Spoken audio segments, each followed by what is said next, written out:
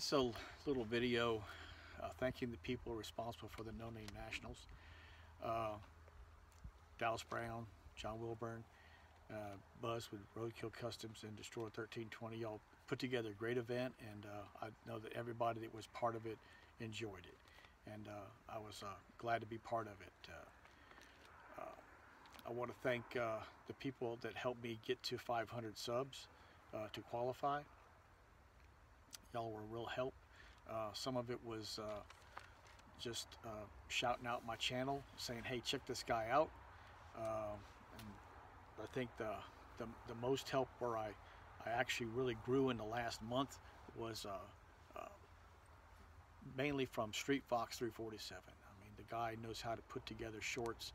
He knows how to get uh, views, and uh, views relate to subs sometimes. I mean, you might have less than 1%, but if you got a thousand views, you know, that's quite a few subs. And uh, it grew fast in the last month. Uh, so uh, you need to check out um, uh, Street Fox 347. Uh, I'll tell you, his name is Mike. he's he's a great guy. And Unfinished Project, another guy who who pushed me with the shorts. I mean, he he was first to comment, first to, to like my videos, no matter what they were.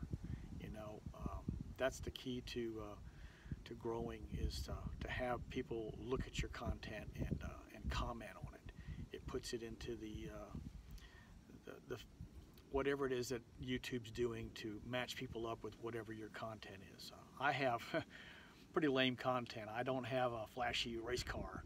I've got, got this old car right here. And why did I bring this to No Name Nationals? Because I said I would. I registered it. I didn't get it running uh, before I left, but you know what? Uh, guys, uh, stopped by and said, hey, they were interested in what, what are you doing? What are you working on it for? And uh, they helped me get it running. Um, I want to uh, thank Stephen Hutz with uh, uh, Just Drive It. I mean, he resourced uh, wires.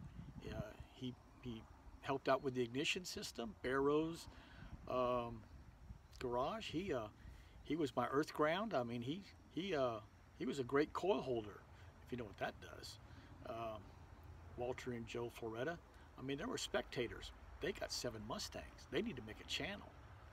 They're, they were really helpful in uh, feeding that carburetor. And uh, Jay and Jason of uh, Rapid Transit, I mean, here's the guy, you know, poking it with the screwdriver to, to make it go across the relay because I brought the wrong keys.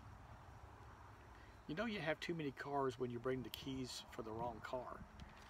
Uh, Volare keys don't start Valiants.